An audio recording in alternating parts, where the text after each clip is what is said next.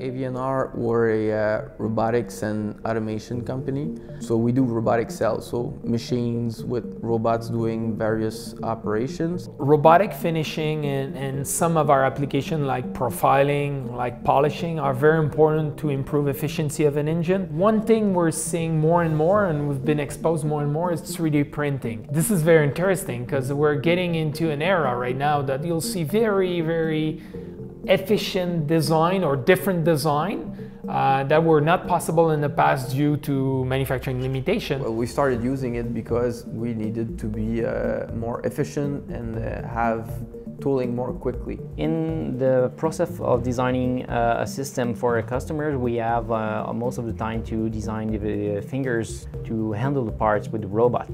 We would design those, have them made, wait for them, and then we could install them on the machine and do our testing. But sometimes CAD we receive from the customer would have surprises, would need to do a second iteration, and then the delays just add up. We uh, made the acquisition of a, a, 3D printer so we can make in-house uh, the prototype of our fingers for the grippers. This is uh, steel fingers. Uh, this is a typical finger that we uh, design. Here we have an example of the uh, fingers that we have. We have to modify the geometry to make sure that the, these fingers are printable.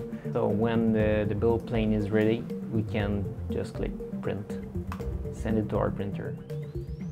So that, that's one cool thing with 3D printing. We just started the, the printing uh, a few hours ago and then we have our uh, grippers ready now. So we're gonna grab those and install them on the machine and we're uh, ready to go.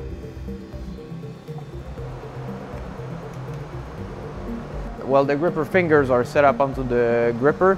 So we're uh, already ready to test these out and see if the geometry works out with the parts that we've got from our customer.